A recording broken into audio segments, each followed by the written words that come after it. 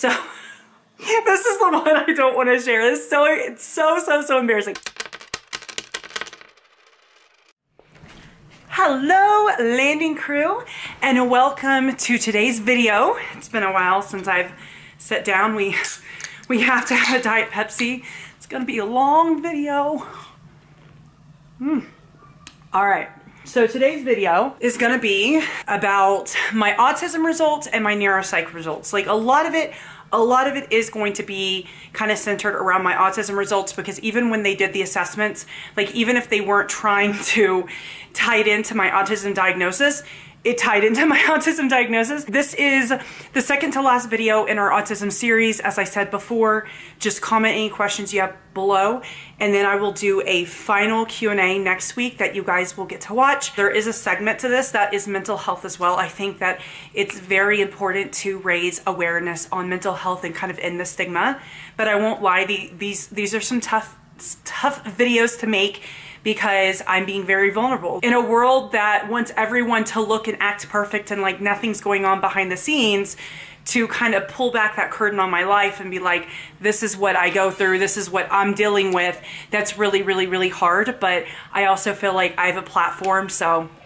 let's do it. So first and foremost, we're just going to talk about the assessments that were done and then I'll go into each assessment. I'm going to try making this video not super boring and me just reading off what they say kind of thing. I had what is called a neuropsych evaluation, which goes over more than just autism. So I was diagnosed with ADHD when I was like five or six. I was diagnosed with bipolar when I was 25. There were just a lot of things. So we just wanted kind of a conclusive answer on what exactly is going on with me because I feel like even if you're not on the spectrum, I feel like these evaluations are so, so helpful because they're able to help you see yourself in a different light. And once I had this evaluation, once I started to really dig down and understand myself a lot more, it has helped me in such a big way. The testing that they used was a clinical interview um, where they just sit down, a record review, sensory inventory, which was like um, a checklist. So I just went through and I, I, knew ahead of time I had sensory issues. And then they used the ADOS-2, which is the Autism Diagnostic Observation Schedule 2. Some of you guys might be familiar with this because it's one that's done on your child. Obviously, if it's a different module, mine was module four for adults. And the other one was the Autism Diagnosis Interview Revised, the ADIR. I'm not gonna go over my history because some of it's really personal and it's, it's not very interesting in my opinion. The behavior observations, I'll put it up on the screen. It says Stephanie was cooper cooperative and put appropriate effort. She displayed conversational gestures but had inconsistent eye contact. I don't realize I do this, but sometimes when I'm trying to talk to someone, I won't keep their eye contact. I'll look away. I never realized I did that. this is so embarrassing to read. Stephanie overshared information about herself and had difficulty participating in reciprocal conversation. I do struggle with this. She also inter interrupted at times. This is a big issue I have is interrupting and like when Lonnie and I are talking, I have to tell myself like, let him finish, let him finish, let him finish. Sometimes how I have to edit it, it does seem like I'm constantly interrupting him, but in that instance, it's not as much just because Lonnie and I are both ramblers. So I have to just kind of make it more, more more presentable for an edited video, but I do interrupt him. I do try working on it. Stephanie had a slight stutter and her voice was loud. She used congruent facial expressions and was able to identify emotions in others. Stephanie had limited insight into social relationships and struggled to articulate her own emotions.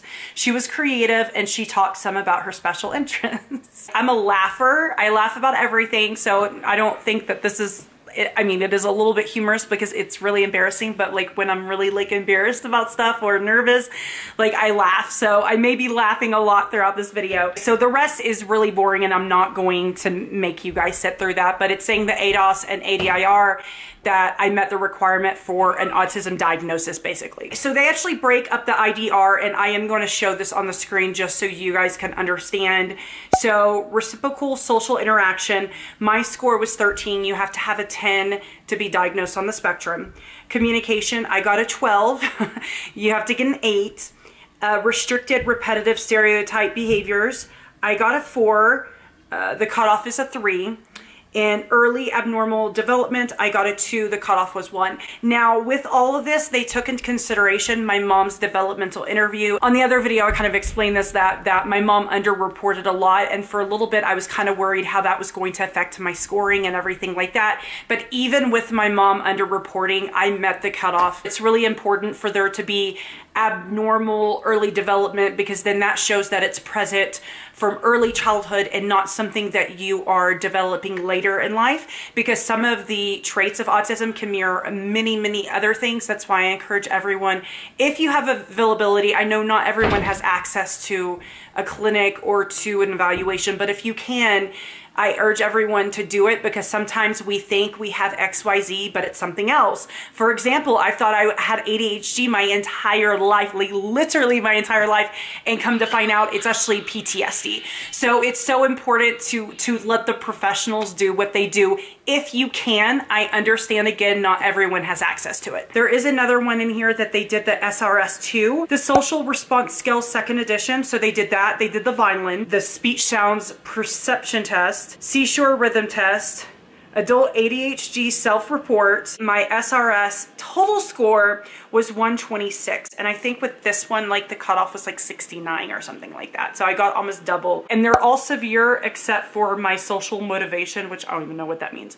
But the rest, you guys can read through it. It's awareness, cognition, communication, motivation, restricted interests, and repetitive behaviors. definitely severe on that. Social communication and interaction, I definitely met the criteria in that instance. So this is the one I don't want to share. It's so, it's so, so, so embarrassing.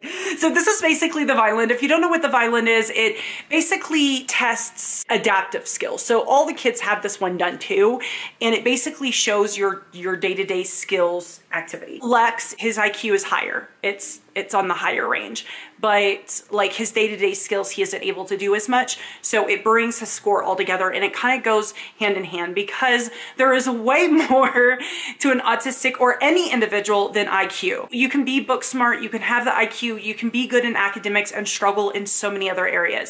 I have always been extremely high in academics. I always caught on very quickly. I test well, I always got good grades, but that doesn't mean I functioned like I should have on a regular basis. I struggled with a lot, as you guys are, are about to about to find out. They interviewed Lonnie for this part. So this isn't things that I told them. These are things that Lonnie reported to them. It's just because it's kind of hard as a person. Like you you don't want to admit that you struggle with hygiene. You you don't want to admit that you struggle with cleaning up after yourself. So I think you always get a more accurate an accurate assessment if someone else does it for you. So it's broken up into three areas communication, daily living skills, and socialization. Socialization, I scored extensively low on. I really suck with socializing, okay? So if you guys have ever heard me say that I, it's taken me a really long time to find myself in friendships and things like this, this is why. Like my social skills and my friendship skills, they have definitely improved, but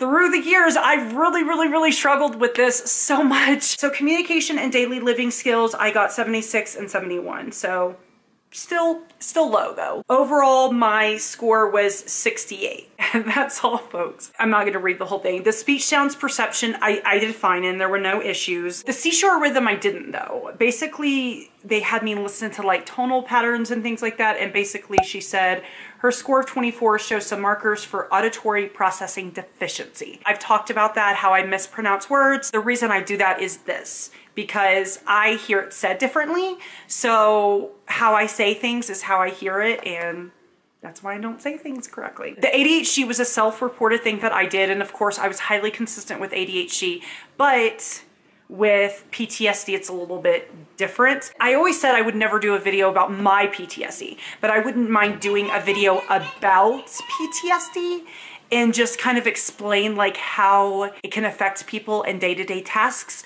But basically when PTSD happens from a young age, your, your brain is still forming. And a lot of people don't realize this. So that's why if you hear me say like in live streams or something, like my ADHD, it's because that's so much easier to explain. And it's like, I have all the traits of ADHD, but the source of it is something completely different. This is when we get into the mental health stuff. Was on the MCMI3, which was like a 175 question assessment. And basically it rated me within the clinical range for avoidant and dependent personality patterns. And we are going to talk about that at the end. That's going to be the very end because it's not really as much to do with autism. So if you just came for the autism piece, you, you can leave, but it gets very, very complicated. Okay, so this is for those who are asking about the ADHD because that's a common thing. It says here, her history of trauma and her scores on the PCL5 support a diagnosis of PTSD.